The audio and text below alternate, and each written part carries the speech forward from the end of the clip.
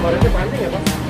Lumayan yang pokok utama kan kita kan SOP harus pasien dulu. Ya utamakan kan nomor dua lah Nah, kita ambil jarak lah. Iya jarak aja. Karena kan kita kan di bawah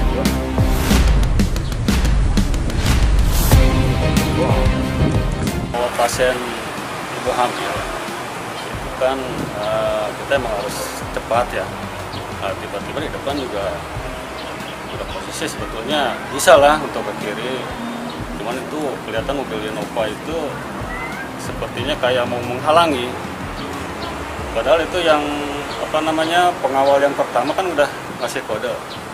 Harusnya dia ke kiri nah pengawal yang kedua harusnya juga dia lebih paham lah. Harusnya dia bisa lebih ke kiri lagi. Tapi kelihatannya seperti pengen menghalangi lah gitu. Nah, itu aja sih ibu hamilnya mau dibawa ke mana dari mana? Eh, kemarin rujukan ke rumah sakit Dinda pak. Rumah sakit dari iya ke rumah sakit Dinda karena emang butuh penanganan cepat sesar. Karena emang dikhawatirkan kan kata dokter juga bilang mau sesar harus ada ruang ICU pada tempat ICU di sini kan penuh dia harus pindah ke sakit. Yang dikhawatirkan kan janinnya.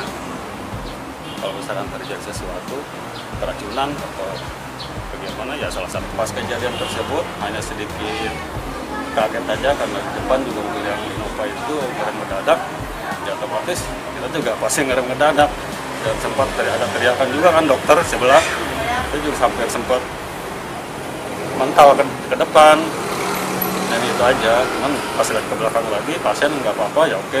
Kita makanya lanjut.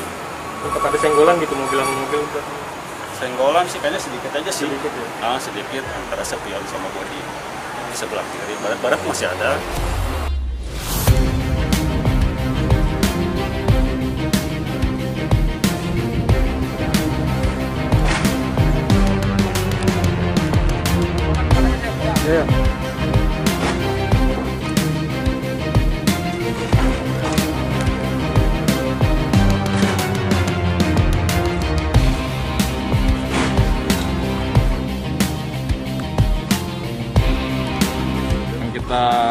Lihat di video tersebut adalah ada kendaraan ambulan yang mau lewat tapi terhalang oleh kendaraan Innova. Datanya atas nama Mr. Kim. Nanti kita akan panggil untuk klarifikasi. Klarifikasi eh, motif kenapa terjadi demikian. Kemudian kita mengimbau kepada masyarakat agar selalu memberikan prioritas kepada kendaraan-kendaraan yang sesuai dengan aturan Undang-Undang Nomor 22 tahun 2009 diberikan prioritas jalan antara lain ambulans, mobil jenazah,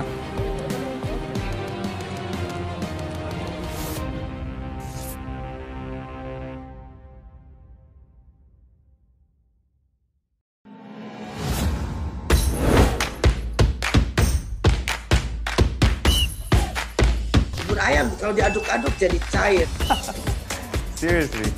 Diaduk kayaknya ya.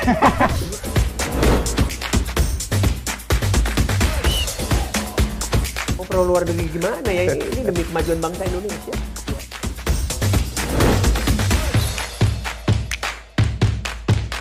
isu kebangkitan eh, PKI ini eh, dihentikan.